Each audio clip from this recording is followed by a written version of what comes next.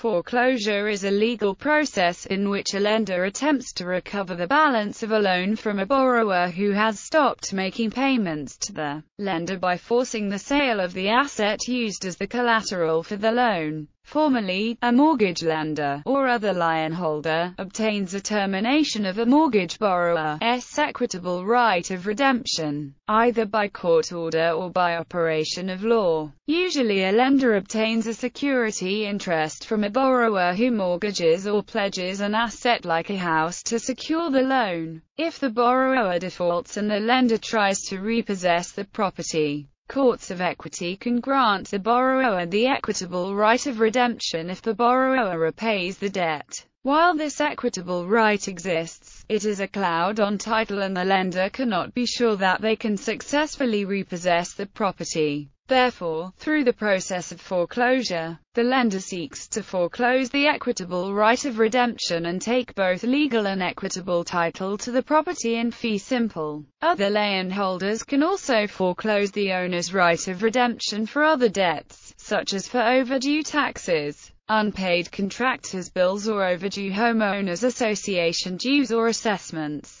The foreclosure process is applied to residential mortgage loans as a bank or other secured creditor selling or repossessing a parcel of real property after the owner has failed to comply with an agreement between the lender and borrower called the mortgage, or deed of trust, commonly. The violation of the mortgage is a default in payment of a promissory note, secured by a lien on the property. When the process is complete, the lender can sell the property and keep the proceeds to pay off its mortgage and any legal costs. And it is typically said that the lender has foreclosed its mortgage or lien if the promissory note was made with a recourse clause then if the sale does not bring enough to pay the existing balance of principal and fees the mortgagee can file a claim for a deficiency judgment. In many states in the United States, items included to calculate the amount of a deficiency judgment include the loan principal, accrued interest and attorney fees less the amount the lender bid at the foreclosure sale. Types of foreclosure. The mortgage holder can usually initiate foreclosure at a time specified in the mortgage documents, typically some period of time after a default condition occurs.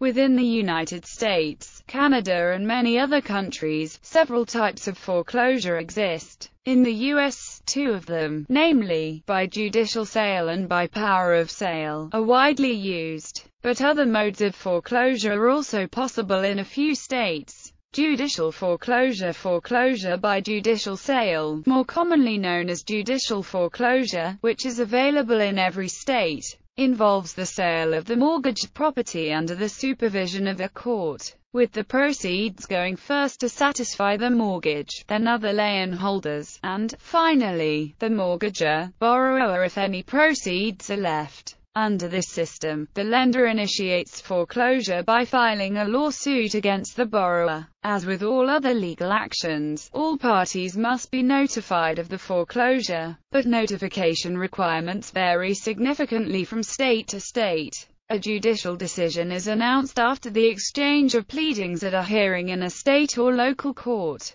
In some rather rare instances, foreclosures are filed in federal courts. Non-judicial foreclosure Foreclosure by power of sale, also known as non-judicial foreclosure, is authorized by many states if a power of sale clause is included in the mortgage or if a deed of trust with such a clause was used, instead of an actual mortgage. In some states, like California and Texas, nearly all so-called mortgages are actually deeds of trust. This process involves the sale of the property by the mortgage holder without court supervision. This process is generally much faster and cheaper than foreclosure by judicial sale. As in judicial sale, the mortgage holder and other lien holders are respectively first and second claimants to the proceeds from the sale. Strict foreclosure Other types of foreclosure are considered minor because of their limited availability under strict foreclosure, which is available in a few states including Connecticut, New Hampshire, and Vermont.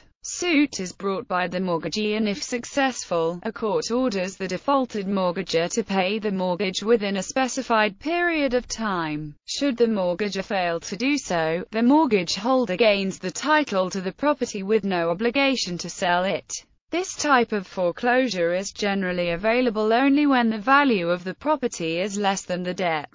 Historically, strict foreclosure was the original method of foreclosure. Acceleration Acceleration is a clause that is usually found in sections 16, 17, or 18 of a mortgage. Not all accelerations are the same for each mortgage, as it depends on the terms and conditions between lender and obligated mortgagor. When a term in the mortgage has been broken, the acceleration clause goes into effect. It can declare the entire payable debt to the lender if the borrower were to transfer the title at a future date to a purchaser. The clause in the mortgage also instructs that a notice of acceleration must be served to the obligated mortgagor who signed the note. Each mortgage gives a time period for the debtor to cure their loan. The most common time periods allotted debtor is usually 30 days, but for commercial property it can be 10 days. The notice of acceleration is called a demand or breach letter. In the letter it informs the borrower that they have 10 or 30 days from the date on the letter to reinstate their loan. Demand breach letters are sent out by certified and regular mail to all notable addresses of the borrower. Also in the acceleration of the mortgage the lender must provide a payoff quote that is estimated 30 days from the date of the letter. This letter is called an FDCPA letter and, or initial communication letter. Once the borrower receives the two letters providing a time period to reinstate or pay off their loan the lender must wait until that time expires in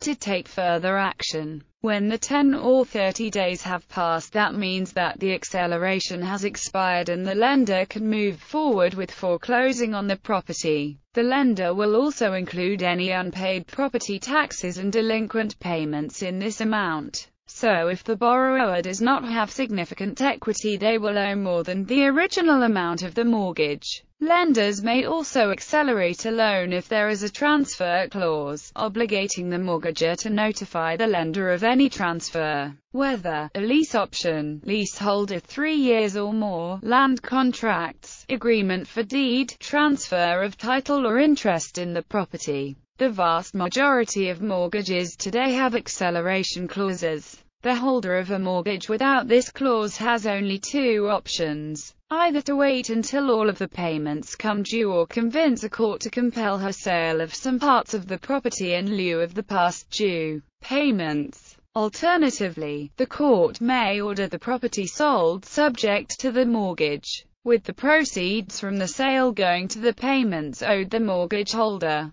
Process the process of foreclosure can be rapid or lengthy and varies from state to state. Other options such as refinancing, a short sale, alternate financing, temporary arrangements with the lender, or even bankruptcy may present homeowners with ways to avoid foreclosure. Websites which can connect individual borrowers and homeowners to lenders are increasingly offered as mechanisms to bypass traditional lenders while meeting payment obligations for mortgage providers. Although there are slight differences between the states, the foreclosure process generally follows a timeline beginning with initial missed payments moving to a sale being scheduled and finally a redemption period. Strict foreclosure, judicial foreclosure in the United States. There are two types of foreclosure in most states described by common law, using a deed in lieu of foreclosure, or strict foreclosure. The note holder claims the title and possession of the property back in full satisfaction of a debt, usually on contract. In the proceeding simply known as foreclosure, the lender must sue the defaulting borrower in state court. Upon final judgment in the lender's favor, the property is subject to auction by the county sheriff or some other officer of the court.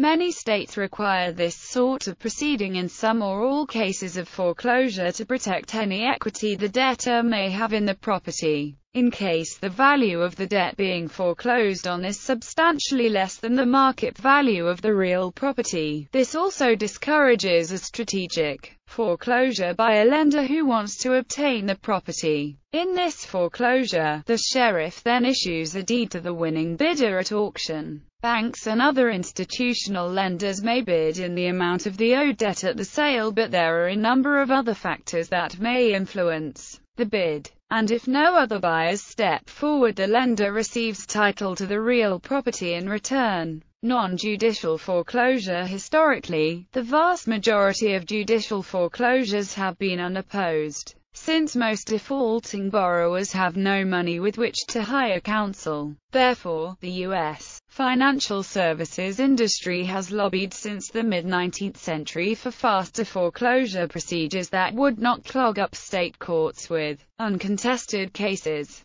and would lower the cost of credit. Lenders have also argued that taking foreclosures out of the courts is actually kinder and less traumatic to defaulting borrowers as it avoids the interim effects of being sued. In response, a slight majority of U.S. States have adopted non-judicial foreclosure procedures in which the mortgagee gives the debtor a notice of default and the mortgagee's intent to sell the real property in a form prescribed by state statute. The nod in some states must also be recorded against the property. This type of foreclosure is commonly referred to as statutory or non-judicial foreclosure, as opposed to judicial, because the mortgagee does not need to file an actual lawsuit to initiate the foreclosure. A few states impose additional procedural requirements such as having documents stamped by a court clerk. Colorado requires the use of a county public trustee, a government official, rather than a private trustee specializing in carrying out foreclosures. However, in most states, the only government official involved in a non-judicial foreclosure is the county recorder, who merely records any pre-sale notices and the trustee's deed upon sale. In this power of sale type of foreclosure, if the debtor fails to cure the default, or use other lawful means to stop the sale, the mortgagee or its representative conduct a public auction in a manner similar to the sheriff's auction. Notably, the lender itself can bid for the property at the auction, and is the only bidder that can make a credit bid, while all other bidders must be able to immediately present the auctioneer with cash or a cash equivalent like a cashier's check. In May 2012, the U.S. Supreme Court resolved uncertainty surrounding a secured creditor's right to credit bid in a sale under a Chapter 11 bankruptcy plan. In Radlax Gateway Hotel, LLC v. Amalgamated Bank, 566 U.S. blank. The court found it was obligated to interpret the bankruptcy code clearly and predictably using well-established principles of statutory construction, resolving the lingering uncertainties related to credit bidding under a Chapter 11 plan and upholding secured creditors' rights. The highest bidder at the auction becomes the owner of the real property, free and clear of interest of the former owner but possibly encumbered by liens superior to the foreclosed mortgage. Further legal action, such as an eviction, may be necessary to obtain possession of the premises if the former occupant fails to voluntarily vacate. Defenses in some states, particularly those where only judicial foreclosure is available. The constitutional issue of due process has affected the ability of some lenders to foreclose. In Ohio, the Federal District Court for the Northern District of Ohio has dismissed numerous foreclosure actions by lenders because of the inability of the alleged lender to prove that they are the real party in interest. In June 2008, a Colorado District Court judge also dismissed a foreclosure action because of failure of the alleged lender to prove they were the real party in interest. In contrast, in six federal judicial circuits and the majority of non-judicial foreclosure states,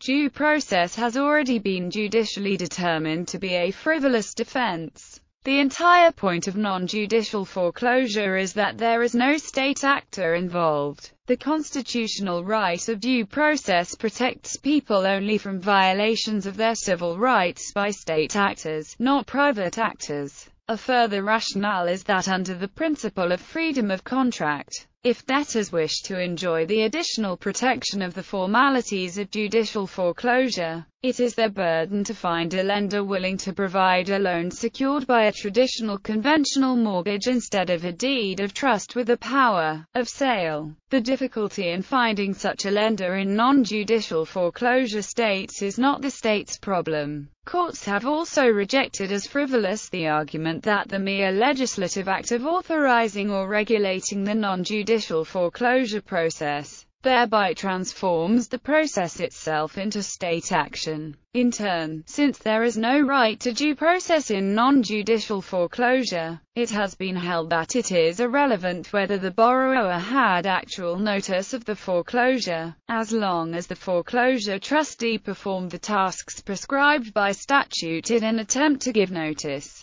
Equitable foreclosure, strict foreclosure, is an equitable right available in some states. The strict foreclosure period arises after the foreclosure sale has taken place and is available to the foreclosure sale purchaser. The foreclosure sale purchaser must petition a court for a decree that cuts off any junior lien holder's rights to redeem the senior debt. If the junior lien holder fails to object within the judicially established time frame, his lien is cancelled and the purchaser's title is cleared. This effect is the same as the strict foreclosure that occurred at common law in England's courts of equity as a response to the development of the equity of redemption, title search and tax lien issues in most jurisdictions. It is customary for the foreclosing lender to obtain a title search of the real property and to notify all other persons who may have liens on the property whether by judgment, by contract, or by statute or other law, so that they may appear and assert their interest in the foreclosure litigation. This is accomplished through the filing of a lis pendens as part of the lawsuit and recordation of it in order to provide public notice of the pendency of the foreclosure action. In all U.S jurisdictions, a lender who conducts a foreclosure sale of real property which is the subject of a federal tax lien must give 25 days notice of the sale to the Internal Revenue Service. Failure to give notice to the IRS results in the lien remaining attached to the real property after the sale. Therefore, it is imperative the lender search local federal tax liens so if parties involved in the foreclosure have a federal tax lien filed against him, the proper notice to the IRS is given. A detailed explanation by the IRS of the federal tax lien process can be found